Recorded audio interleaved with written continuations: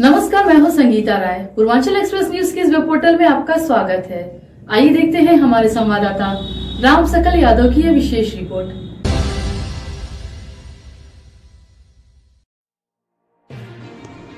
Azamgarh district bar association के लिए हुए चुनाव में मतगणना संपन्न हो गई, जिसमें दयाशंकर सिंह अध्यक्ष, उदयराज यादव मंत्री चुने गए।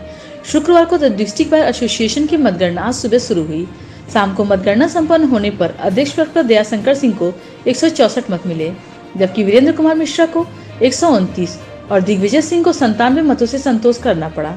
मंत्री पद पर उदय राज यादव को 212 मत अतुल कुमार उपाध्यक्ष को उनचास मत रविशंकर यादव को चार मत रामनयन यादव को 120 मत मिले।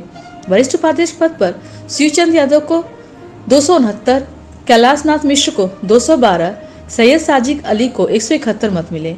कोषाध्यक्ष पद पर अजीत कुमार सिंह को 241, अंसार अहमद को 146 मत मिले।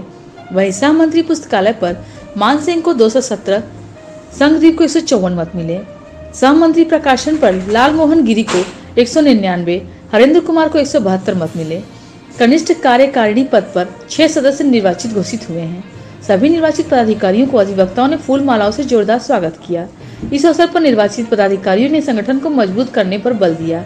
फ़िलहाल औपचारिक घोषणा सोमवार को की जाएगी। बार के डिस्ट्रिक्ट बार एसोसिएशन के वर्तमान मंत्री निर्वाचित हुए हैं। मैं सर्वप्रथम अधिवक्ता समाज को कोट कोट नमन वंदन करते हुए उनके चरणों की वंदना करता हूँ और ये शरीर जब तक रहेगी अधिवक्ता समाज के लिए एक कण कण उनके लिए समर्पित है। यहाँ एक अति बैकवर्ड में एक ऐतिहासिक जीत हुई है और मैं जो है अपने अध्यक्ष पद के मतलब सभी यहाँ जो भ्रष्टाचार व्याप्त है उसका जो है कोर्टों में भ्रष्टाचार कम हो हम्म, लोगों को बातकारियों को न्याय मिले और सभी अधिवक्ताओं की जितना भी सहयोग हो सके उनके हित के लिए लड़ाई लड़ना यही मेरा कर्तव्य है और इसका जो है अपना ईमानदारी से मैं निर्वहन करूँगा अच्छा आए दिन अधिवक्ता सड़क पर उतरते रहते हैं शासन प्रशासन के खिलाफ नारेबाजी भी होती है हम्म। उसको लेके आप किस दिशा में काम करेंगे उसको जो सच्चाई के प्रति अधिवक्ताओं के प्रति अन्याय होता रहेगा तो उसके लिए हम लड़ेंगे सड़क पर उतरेंगे अधिकारियों से लड़ेंगे और अगर अधिवक्ताओं के हित पर कोई भी कुठाराघात होगा तो उससे हम कदम पीछे नहीं हटाएँगे।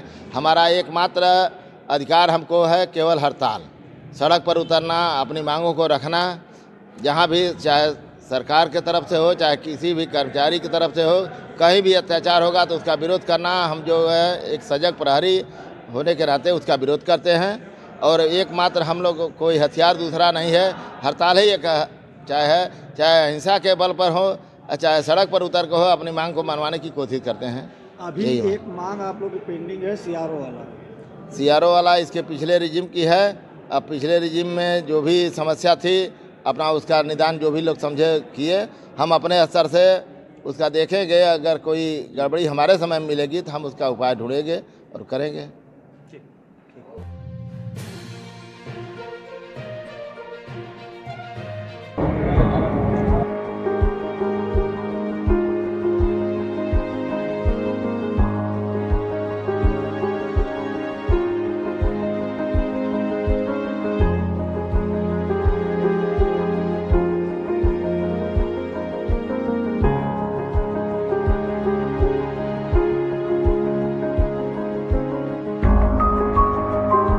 अगर आपको हमारी खबर पसंद आई हो तो हमारे चैनल को लाइक, सब्सक्राइब और शेयर ज़रूर करिए।